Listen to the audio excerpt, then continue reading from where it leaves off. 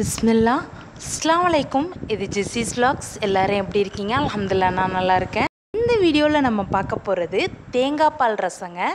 ஒரே சாதா ரசம் சாப்பிட்டு போர் அடிச்சிருச்சுன்னா நீங்கள் இந்த மாதிரி தேங்காய் பால் ரசம் செஞ்சு சாப்பிடுங்க. இது உடம்புக்கும் நல்லது டேஸ்டியாகவும் இருக்கும் சாதா ரசத்தை விட. நம்ம வீடியோஸை இப்போ தான் புதுசாக பார்க்குறீங்கன்னா லைக் பண்ணி சப்ஸ்கிரைப் பண்ணிக்கோங்க. நம்மளோட பழைய சப்ஸ்கிரைபர் ஃப்ரெண்ட்ஸும் லைக் பண்ணி ஷேர் பண்ணுங்கள் கண்டிப்பாக உங்களோட சப்ஸ்கிரிப்ஷன்லேயும் லைக்லேயும் தாங்க நம்ம சேனல் மென்மேலும் வளரும் இன்ஷால்லா. இந்த தேங்காய்பால் ரசம் செய்கிறது ரொம்பவே ஈஸிங்க மைல்டாகவும் இருக்கும். நம்ம ஷஹர் ஃபுட்டுக்கு கூட யூஸ் பண்ணிக்கலாம். தேங்காய்பால் ரசத்துக்கு தேவையான பொருட்கள் அரை மூடி தேங்காங்க உங்களுக்கு வேணும்னா அதிகமாக எடுத்துக்கலாம். கருவேப்பிலை காஞ்ச மிளகாய் கடுகு வெந்தயம் ஜீரகம் தேவையான அளவு உப்பு நசுக்கி வச்சுருக்க பூண்டுங்க பெருஞ்சீரகத்தூள் பெருஞ்சீரகத்தூளுக்கும் தேங்காய்க்கும் காம்பினேஷன் செம்மையாக இருக்குங்க. அதனால் அது மட்டும். தேவையான அளவு மஞ்சள் தூள் லெமன் சைஸில் புளிங்க. புளி ஊறுற அளவு தண்ணி மட்டும் ஊற்றி கொஞ்சமாக ஊற வச்சுக்கணுங்க. ஒரு கப் தேங்காய் பால் ஃபஸ்ட்டு தேங்காய் பால் எடுத்திருக்கேன். இதில் ரெண்டு கப் தேங்காய் பால் செகண்டும் தேர்டும் இந்த செகண்ட் தேங்காய் பாலில் புளியை நல்லா கரைச்சி எடுத்துக்கணும். நான் அரைமுடி தேங்காய் பால் தாங்க எடுத்து வச்சுருக்கேன். எனக்கு தேவையான அளவு. உங்களுக்கு அதிகமாக தேவைப்படும்னா நீங்கள் ஒரு தேங்காயில் எடுத்துக்கலாம். எவ்வளோதுக்கு எவ்வளோ தேங்காய் பால் திக்காக இருக்கோ அவ்வளோக்கு அவ்வளோ இந்த தேங்காய் பால் ரசம் டேஸ்டியாக வருங்க. இப்போ பார்த்தீங்கன்னா இந்த தண்ணி தேங்காய் பாலில் புளியை நல்லா கரைச்சி எடுத்து வச்சுக்கிட்டோம். அந்த திக் பால் அப்படியே இருக்கட்டும். அப்புறம் தக்காளிங்க இது ஆப்ஷனல் தான். அதனால தான் இன்க்ரீடியன்ஸில் காட்டல. இந்த தக்காளியை நல்லா கரைச்சி விட்டுக்கணுங்க அந்த புளி தேங்காய் பால் தண்ணியில். இன்னும் திக்காக வரும். உங்களுக்கு வேணான்னா ஸ்கிப் பண்ணிடலாம். தக்காளி இல்லைனாலும் போடாமல் இருந்துடலாம்.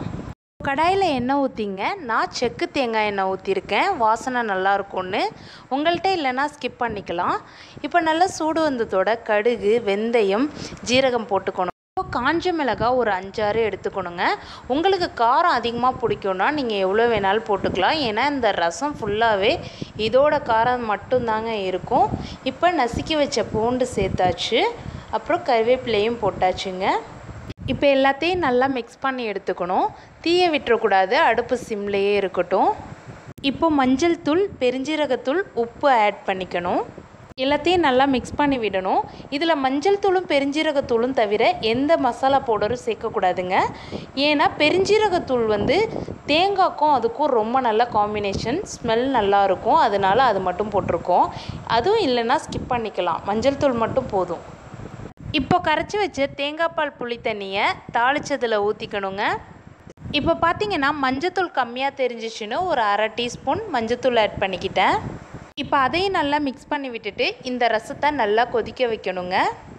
நார்மலாக ரசம் வைக்கிறதுல இந்த மாதிரி ஸ்டேஜு நுரைச்சிக்கிட்டு வந்ததோடையே நம்ம அடுப்பை ஆஃப் பண்ணிவிடுவோம் ஆனால் இந்த தேங்காய் பால் ரசத்தில் அப்படி வைக்கக்கூடாதுங்க.